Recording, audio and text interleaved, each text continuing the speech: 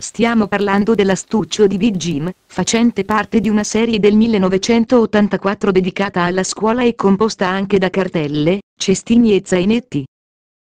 Tutti gli oggetti erano in doppia versione, rosso-blu, e verde militare giallo.